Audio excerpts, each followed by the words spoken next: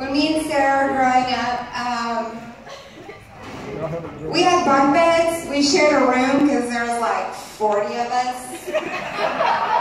me and Sarah shared a room. My parents were really mean, so we shared a room and we had a bunk bed. And Sarah was on top bunk because she was skinny. no point of me being on top. I mean, let's be real. But um, I I used to think that you know if we ever got kidnapped, they would like pull her from the top bunk because I'm a lot harder to kidnap than her. So they would just pull her off the top and like pull her into a bag. So I always felt safe sharing a room with her. You kept me safe. Thank you.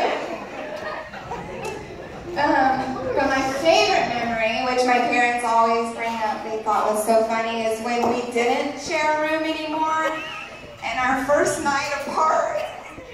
I'm sorry. Okay. Um, our first night apart, Sarah was super excited, and I was super heartbroken. I slept outside Sarah's door with her door closed all night. And I just slept there.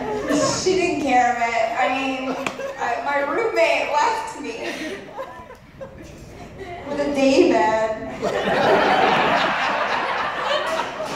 So, did you take the trundle? I'm pretty sure she took the trundle. I took the day bed because I'm a princess and I'm older. She got the trundle. So if you like sat too hard, it collapsed. Sorry. Am I going too long? Okay. Um, but I couldn't think of a more perfect man for my with because she's a little crazy.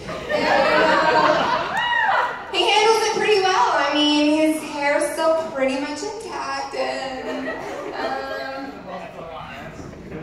I said pretty much. I didn't say fully, but good job. You're hanging in there. So, um, yeah. So, like I said, I couldn't think of a more perfect person little sister. And is it your turn? I think it's Hand it over, D. Hold on, let me make sure uh, um, Sarah used to share her Reese's with me. She used to take the peanut butter out of the middle and then I would eat the chocolate because she didn't like chocolate. Apparently, I liked chocolate. She liked